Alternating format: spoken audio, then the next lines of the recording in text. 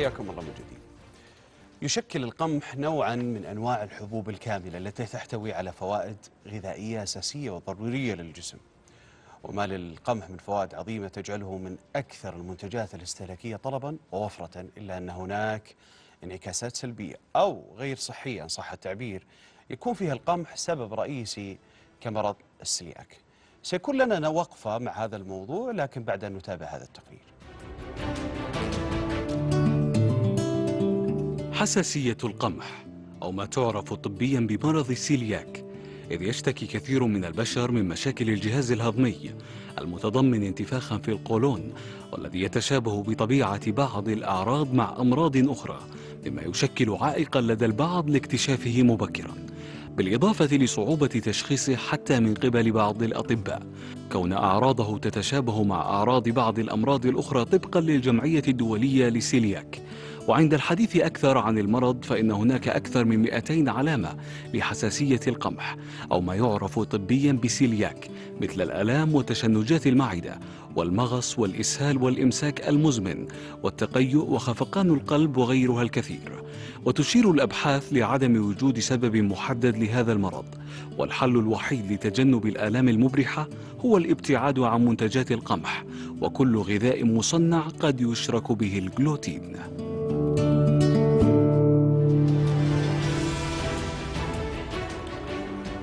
شكرا لي زميلي محمد العرجاني على هذا التقرير.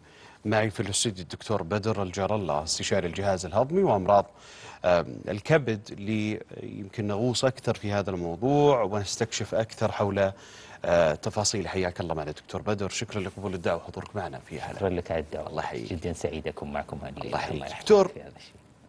السلياك في مفاهيم كثيرة عن آه، عن هذا المرض عند الناس. وبداية يمكن أول المفاهيم اللي اللي موجودة أو الخاطئة أو اللي تلتبس على الناس هل هو حساسية قمح؟ هل هو حساسية مختلفة؟ هل هو متفاعل مع حساسية أخرى؟ وش الاختلاف؟ أحسنت شكرا على السؤال الحقيقة هذا موضوع جدا مهم آه ويكثر السؤال عنه لأنه دائما يتقاطع مع أمراض آه، شائعة في المجتمع يعني ممكن حساسية القمح ممكن المريض يحضر أو آه، لا يشكي من أي شيء. يكتشف بالصدفة في أحد زيارات العيادة. إذا كان أحد من اللي راجعوا هذا المريض عمل بعض الفحوصات وتأكد أنه يوجد عنده حساسية قمح أو ما يوجد عنده. هو لا يدري أن نفس الشخص اللي يعاني من نفس المرض. وممكن أنه جلس يعاني فترات طويلة لكنه ما في أحد يعني وضع يده على مكان المشكلة تماما اللي هي تكون في نهاية المطاف تكون هي السيليك. إحنا نتكلم في مرض حساسية القمح عن مرض متعدد الأشكال من لا شيء من لا عرض إلى أعراض كثيرة قد تتقاطع وقد تجتمع في بعض المرضى وقد تكون عرض واحد في بعض ال- الآخرين.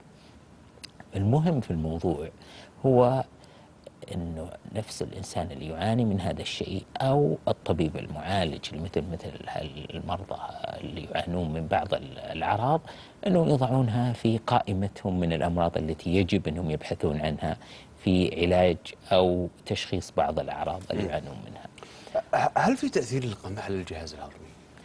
لا شك إن القمح هو مكون أساسي من مكونات الغذاء وغذائنا ككل في كل تفاصيله فيه جانب إيجابي إذا أخذ بطريقة آه، معينة وجانب سلبي إذا أخذ بطريقة أخرى. القمح بحد ذاته وكمكون من مكونات ال- النشويات اللي هي الكربوهيدرات الموجودة في في غذائنا. لا تنسى أن إحنا في الشرق الأوسط يكون الكربوهيدرات مكون أساسي في غذائنا. فيعني يتكلم عن نسبة 60 70% من غذائنا يتمحور حول هذا النقطة أو تلك. فكون إنه يك- يؤثر علينا سلبا لا شك إنه يوجد تأثيرات سلبية. س- آه، التأثيرات السلبية قد تكون أعراض خ- خفيفة جدا من الجهاز الهضمي وقد تكون أشد من ذلك وحسب وين المنتج نفس المنتج جودته وعدمه واختلاطه بأشياء أخرى. اللي من لديهم أمراض في الكبد.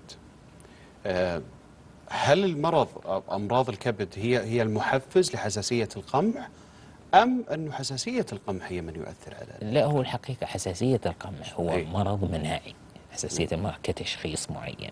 يشخص في العيادات بناء على تشخيص معين بناء على عينات تؤخذ من الجهاز الهضمي على عينات من الدم لفحص ال- السلوك لبعض البروتينات الخاصة بمرض الحساسية القمح. وإذا أش- أوضحت إيجابية فكأنك يعني تشخص المرض عن طريق هذه المؤشرات. آه هذا هذا هو التشخيص. هؤلاء الناس اللي يعانون من حساسية من القمح في بعضهم يعانون من أمراض في الكبد. يعني عملنا مرة دراسة يمكنها من أكبر دراسة في, المملكة على مرضى حساسية القمح تقريبا أكثر من 600 مريض. جمعنا معلوماتهم وجدنا أن تقريبا 10% منهم يوجد عندهم ارتفاع في إنزيمات الكبد. وقد لا يكون واضح من البداية يعني قد يحضرون بسبب ارتفاع انزيمات الكبد ولا يعرفون عن حساسية القمح. فهذه جزء من الأشياء اللي ممكن أنها تكون مثل المرضى هذولا فهي هي عبارة عن مرض مناعي قد يؤثر على الكبد كجزء من بقية الأعضاء في الجسم. إيه. بالتقرير قبل شوي أم، آه، كان الزملاء سلطوا يمكن الضوء على 200 عرض آه، تقريبا ل- ل- آه، للسلياك أم، وش ال 200 هذه؟ رقم كبير صراحة. آه، نعم هو يظهر كأنه كبير لكن لا تنسى أن تتكلم عن مرض اللي إحنا نسميه يعني مرض شامل. إيش معنى مرض شامل؟ يعني ممكن المريض بدون أي أعراض ما زال عنده المرض وممكن المريض عنده عشرات من الأعراض. فأنت تتكلم عن يعني زي ما تقول آه، فئة كبيرة من الأعراض سواء في الجهاز الهضمي أو خارج الجهاز الهضمي. يعني ليس فقط حساسية القمح متصلة فقط في الجهاز الهضمي. حساسية القمح ممكن يجي يأثر على العظام ممكن يأثر على المفاصل ممكن يؤثر على الكبد ممكن يؤثر على الدم ويكون حضور المريض بسبب نقص الهيموغلوبين. ممكن يأثر على النمو ممكن يأثر على الوزن. ممكن يأثر على شهية الإنسان للأكل أعراض كثيرة جدا. لذلك وحتى يعني مرض حساسية القمح حضور المريض نفسه يعني تأثره بالمرض ليس المسألة فقط صفحة بيضاء وسوداء هو مريض فقط. لا المسألة فيها تعدد من أشكال المرض. بعضهم يكون عنده حساسية القمح لكن تكون خفيفة ما يكتشف من بدري يكتشف متأخر يكون أعراضه عادية يعني. وبعضهم لا. جدا حساس جدا للقمح. لذلك لازم يكون حميته شديدة إيه. دقيق. ولذلك لو أخذ أي شيء في قمح يكون أثر فعال وواضح سريع هل في سمات معينة للأشخاص؟ يعني نتكلم عن سمات صحية أو أعراض طبية. يعني هل في فئة فئة دم معينة مثلا تكون معرضة أكثر للسلياك؟ أو عمر معين يكون معرض أكثر؟ من أكثر الرجال من النساء؟ طبيعة الغذاء من الصغر حتى الكبر. نعم. هل لها دور أيضا؟ نعم. العامل الجيني أو الوراثي أحسنت أحسنت. وربما هذه النقطة الأخيرة اللي إيه. أنت ذكرتها هذه يمكن هي تمثل عامل أساسي. يعني قديما في الدراسات لما كانت تعمل لأمراض حساسية القمح كان دائما الكلام كله يتكلم عن أنه مرض يؤثر على ساكني أو قاطني أوروبا وبالذات أوروبا الشمالية. لأن معرفة مرض حساسية القمح كانت صعبة وقت قديما مع تطور الفحوصات اللي المتوفرة في عيادات الأطباء صار الوصول إلى التشخيص أسهل فوجدوا مع الوقت أنه آه، نسبة الإصابة تقريبا متماثلة سواء تتكلم في أي منطقة من العالم. يعني الآن في في آه، في الشرق الأوسط يمكن تكون في المية من المجتمع تلقى مصاب عنده آه، في حساسية القمح. وقد تكون ال- ال- النسبة أعلى بس لسه ما البحث ما زال جاري عن هذا الناس اللي يكون أو أق- أخف. خ- خليني أتكلم عن مرض العصر تفضل. إذا جاز لنا تسميته. القولون. نعم. يعني آه، وأعراض القولون ومشاكل القولون يمكن خصوصا للأشخاص اللي آه، اللي في المدن. آه، واللي يكثر عندهم هذا المرض إذا وافقتي. كثير من الشباب يشتكون من آلام المعدة من آلام القولون في, في الغالب. هل في ارتباط بين النظام الغذائي اللي يحتوي القمح والأرز مع آه، مع القولون؟ هل في أي تأثيرات ممكن تصير يعني من خلال القمح والأرز على القولون؟ أحسنت. أشكرك أبو عبد العزيز على السؤال. حقيقة سؤال جدا مهم. يعني أنت لو تشوف الناس اللي يراجعون الجهاز الهضمي تقريبا أكثر من النصف كلهم يشكون من آلام في القولون من شكل أو أشكال آلام القولون. هل كل هؤلاء يشكون هل لهم علاقة عضوية؟ يعني هل عندهم شيء عضوي أو أن المسألة وظيفية أكثرها؟ أغلبها وظيفي لكن في جزء منهم يكون عضوي. وهذه مهمة أنه يكون الطبيب مع المتابعة أو أن المريض أنه يتابع مع الطبيب لكي يصل إلى نتيجة إيجابية أنه بالضبط آه، يحدد سبب هذه الآلام حقت القولون. آه، آلام القولون شائعة صحيح. أغلبها يكون وظيفي جزء منها يكون عضوي والعضوي يتعدد من التهابات القولون إلى أمراض مناعية أخرى متعددة كثيرة. آه، مناسبة حديثنا بحساسية القمح وأمراض القولون أنه في كثير من الناس لما يجون يشكون من الآلام المعتادة للقولون دائما يعني أنهم يصنفون أنه عندهم آه، مثلا قولون عصبي ويستمرون في في هذا الطريق إنه قولون عصبي لكن بدون في نهاية المطاف لما يتم يكتشفون. يكتشفون إنه على حساسية قمح طبعا هذه نسبة أقل لكنها مهم البحث عنها. يعني القمح مو بسبب رئيسي لمشاكل القولون ما هو بشيء إذا استخدم بطريقة مناسبة أي. وملت... بنفس النسبة المعتدلة. أي وش النسبة المعتدلة؟ النسبة المعتدلة أن يكون الغذاء الإنسان متوازن دائما. م. يعني في كل العناصر. يعني لا تقعد تاكل قمح كل يوم. فرشو أكيد. يعني وتقول أنه عندي مشاكل بالقولون أكيد. لا شك لا شك أنه كل ما يكون الإنسان متوازن كل ما يكون أفضل. كل ما يكون العناصر متعددة سواء نعم. نشويات دهون بروتين فيتامينز آه كل ما يكون أفضل لا شك الزيادة أو الإفراط في أي صنف يحصل اختلال واعتلال هل صحيح أن حبوب بثو يعني حبوب البثور اللي تكون في الذراع تحديدا إيه؟ آه، هي مؤشر لحساسية القمح وش بدأ صحة هالشيء؟ لا هي صحيح هي إيه؟ طبعا هي تقريبا 10% من إيه؟ اللي عندهم حساسية من القمح يصير عندهم زي الالتهابات الجلدية آه، زي الطفح الخفيف في الجلد ومرض معروف التهاب آه، معروف جلدي يعرفه أطباء الجلدية ومن يعني مجرد ما يشوفون الشكل هذا يعرفون إن هذا تقريبا يربط الموضوع. يربط بالسيليك السلياك يعني آه، سائد عندنا إنه مرض ليس له علاج. نعم. هل هذا صحيح؟ وإذا كان بالفعل ما له علاج وش وش الطرق اللي اللي تتعاملون فيها مع المريض اليوم بحساسية القمح أحسنت. هو الحقيقة حساسية القمح يعني أنت لا هو فعلا مرض لكن علاجه هو تجنب السبب. يعني مجرد ما يكون الانسان بس يعني حمية.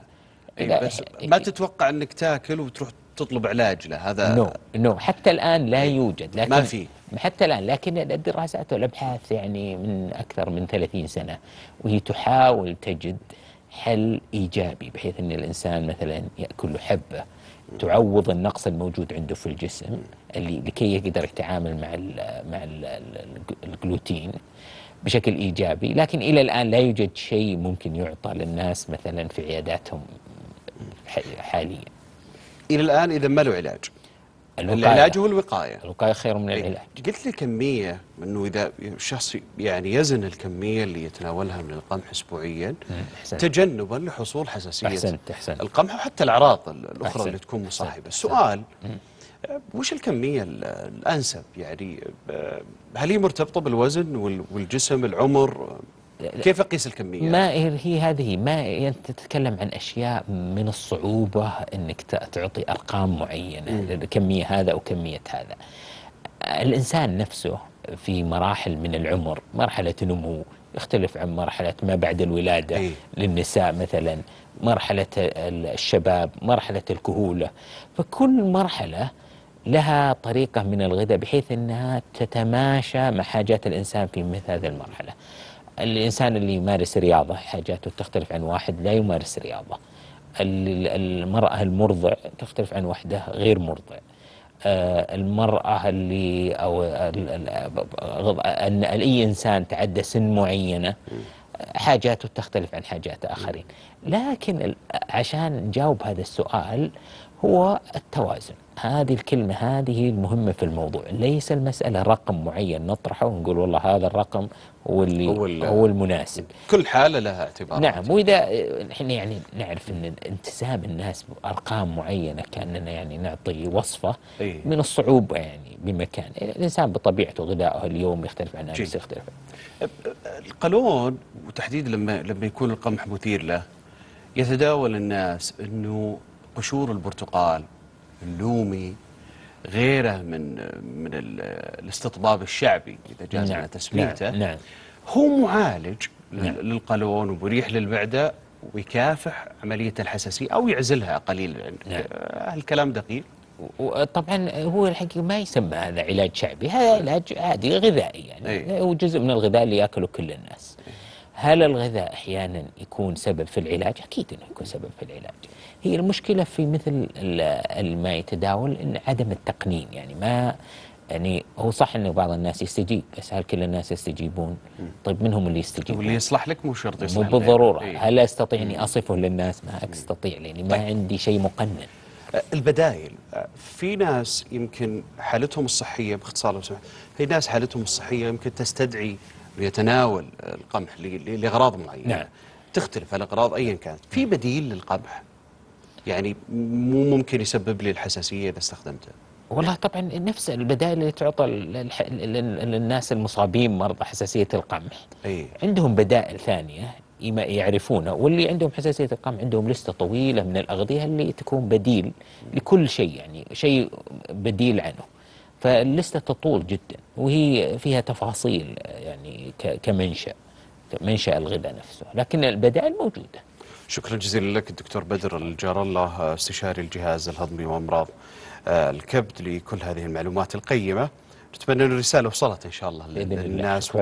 الوقاية آه، دائما آه، الأطباء وغير الأطباء يرفعون شعار الوقاية خير آه، من العلاج وإحنا اليوم نرفع هذا الشعار بإذن الله. أيضا لمن يعانون اليوم من حساسية السلياك أو من القمح وم- ومنتجاته آه، يعني اليوم الترشيد ب- بالاستهلاك باستهلاك القمح أو التعامل معه باتزان آه، بإذن الله سيقي زي- ما ذكر الدكتور بدر من أي أعراض يمكن أن تنال آه، من الشخص فاصل ونعود.